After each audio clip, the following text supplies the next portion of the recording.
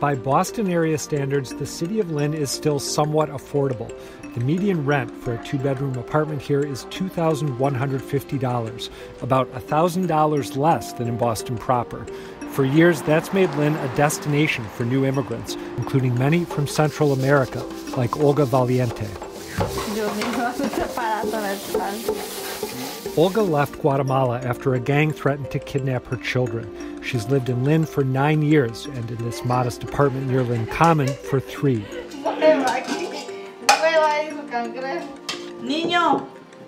Her son sleeps here on an inflatable mattress to save space.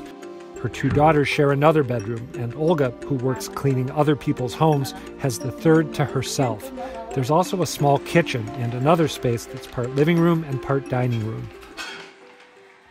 Ah, por lo cerca de la escuela. Speaking through an interpreter, Olga says even though their home is small, the location is ideal near their church, her kids' schools, and their grocery store. What's more, they've been able to pay for it until now.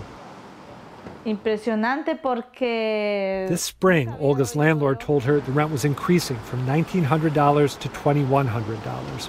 That's still below the current median for a Lynn three bedroom. But Olga says that for her family, it's just not doable long term. Si ganamos apenas. We barely can make it to 1900. Imagine when I had to pay all that increase. Olga's story raises doubts about the idea that production alone can solve the housing crisis. Development in Lynn is booming, but it's mostly smaller, more expensive units. This new building doesn't have any three bedrooms, and two bedrooms start at about $3,000. At Lynn City Hall, plans are underway to change that. It's certainly a top priority for our administration, and it's one of the most pressing issues in the, in the city.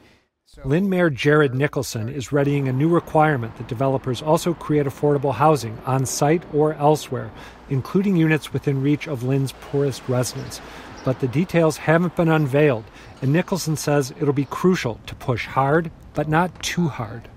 You want to set the right balance where you're doing right by the residents who are struggling with affordable housing, that doing right by the community, but also continuing to allow investors to make a return.